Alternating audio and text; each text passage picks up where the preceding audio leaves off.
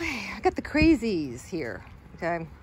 That one over there is gonna be nine weeks old on Friday, I think. And you, no, something like that. They're a few days difference and they're between eight and nine weeks old. But if you're on my website, you can always um, click where it says, click here for more additional information about the puppy and you will see their birth date.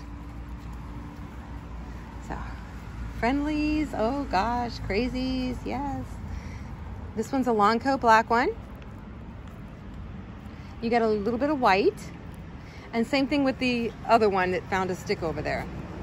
He is a short coat though, black with a little bit of white. Yes. and the stick is, I know this is a really exciting thing to find. I, I get, I get it because I've been around puppies a lot, a lot, and I know all about you guys.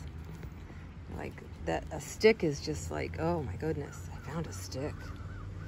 Yeah, there's another one, but you have to go off the blanket to get it. Are you gonna do that? Would you actually venture off the blanket? Please don't. I don't want you to.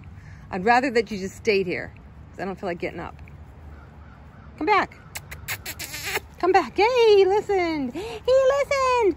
This is for now. I'll listen for now, Mama. I will listen for right now. But they're both available. And if you go to UEYS um, puppies, Chihuahuas, puppies is easier to spell. Just type in UEYS, it should pop up. And you can see more information. You can go to the parents page and see all the relatives from generations back. It's quite an informative website. What are you doing? What did you find? A little weed? Hmm? You found a weed? Hey, you. and you found a camera. All right, that's enough for this week. Well, they really want to play some more, don't they? Huh? You want to play some more? All right, I'll stand up. I'll give you a few more minutes. Those were birdies that you heard. They were birdies. Uh-uh, you're, oh, oh. He's learning how to go in the grass. That is scary.